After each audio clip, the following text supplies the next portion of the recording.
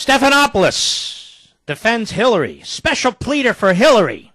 Cut six hat tip free beacon. Go to the tune of some, I think, some millions of dollars. Yes? You know, I read the book that this is based on, Clinton right. Cash, read it, and I actually interviewed the author on Sunday. This is a tough one. As you know, the Clinton campaign says you haven't produced a shred of evidence that there was any official action as secretary that, that supported the interests of donors. You didn't disclose in your book that he had sold the interest. Beyond that, yes. there's no evidence at all that Hillary Clinton got directly involved in this decision. We've done investigation here at ABC News, found no proof of any kind of direct action. He said there's no smoking gun, no evidence that she changed the policy based based on donations to the foundation. No smoking gun. The Democrats have said this is this is indication of your partisan uh, interest. They say you oh. used to work for President President Bush as a speechwriter. You're funded by the Koch brothers. How do you respond to that? Because when you actually look at look closely at it, he even says there's no evidence of any direct action taken right. on behalf of the donors. Well, Donna, I got to talk to you first. I know you're close to the Clinton team. They did not want to put anybody out to talk about uh, this book today. Hillary Clinton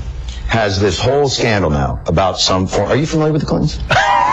Hillary Clinton. Well, very funny. It's very, very funny. This Stephanopoulos is, uh, well, what can we call him? Bipolitical? I don't even know what to call him. A pretend journalist? And there's so many of them, are there not? That book is loaded with facts. That book is a roadmap for any uh, grand jury, which should be impaneled to investigate the Clintons. And let me tell you something else. You ready for this? That Clinton money laundering operation should be shut down. That's not a library. It's not a foundation. That's a front. It's a Potemkin village for charity.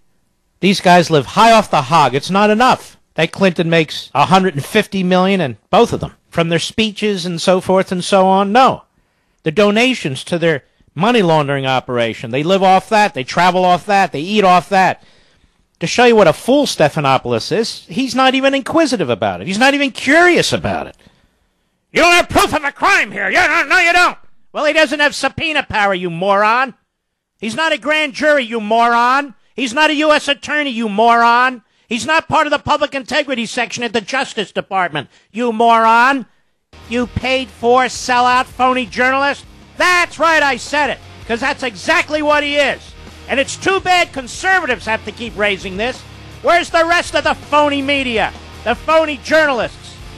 I guess they're getting ready for next year's Washington Correspondents' Dinner. Picking out their gowns and their tuxedos and trying to figure out who they're going to invite.